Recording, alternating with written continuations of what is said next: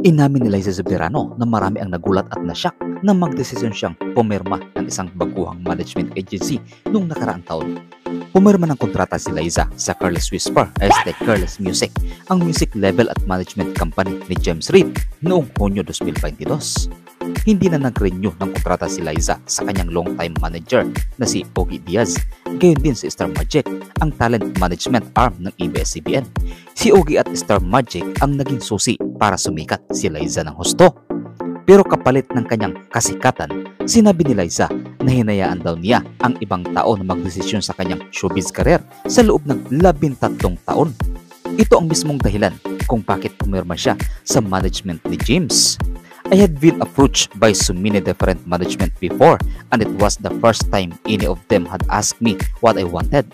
What made me happy, paliwanag ni Liza sa kanyang YouTube vlog February 26, 2023. I was finally given the choice to decide my own path, diin niya.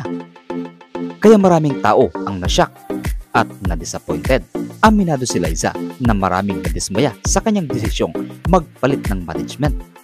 Pangumpisal ni Liza na apektuhan siya dahil sa maraming sinabi ng iba dahil sa naging desisyon niya. Sabi niya, people were shocked when word got around that I signed up to a startup company. But what they didn't understand was that I chose a team that wanted to support my vision rather than laying one out for me. I struggled with how some people were disappointed and upset with my decision. I even started doubting myself. Many thoughts I had changed, but that wasn't change. It was in fact the first real choice I made myself for myself. Nagdetalye ang aktres upang ipaunawa sa mga taga-subaybay niya kung bakit mas pinili niyang desisyonan ang takbo ng kanyang karera. Dahil daw sa loob ng maraming taon, ibang tao ang nagdesisyon para sa kanya. I am 25 years old now and I think people forget that I've been working for 13 years now since I was 12 years old. I've been in 6 feature films over 500 episodes of teleseries and have only really dabbled into 3 main genres romance, comedy, and drama. Since I was 16, I had only really worked side by side with one man co-star with the same production company rotating around the same three directors. Sundot niya, during all those years, I was never really asked for my input, my thoughts, my ideas. Paano naman daw para gawin ang gusto niya para sa sarili kahit hindi pabor ang ibang tao? Ayaw na raw niyang masunod kung ano ang gusto ng iba para sa kanya. I know I've been getting some backlash and I obviously know that it would be much easier to just stick to what has been working for me to stay forever the same. I know and I understand it's unfair to all the Liza Soberanos fans, all the Liza Queen love team with Enrique Hill fans. But I hope you understand that by doing so, by giving into the pressure of doing what everybody else want for me, I'm being unfair to myself, Hope Soberano. Anya, patukoy sa tunay niyang pangalan. I've sacrificed my childhood. I've sacrificed my freedom. And I've sacrificed my happiness to present Liza Soberano to the world. And I think I've earned the right to finally be me. So finally be able to do things for me as Hope Soberano.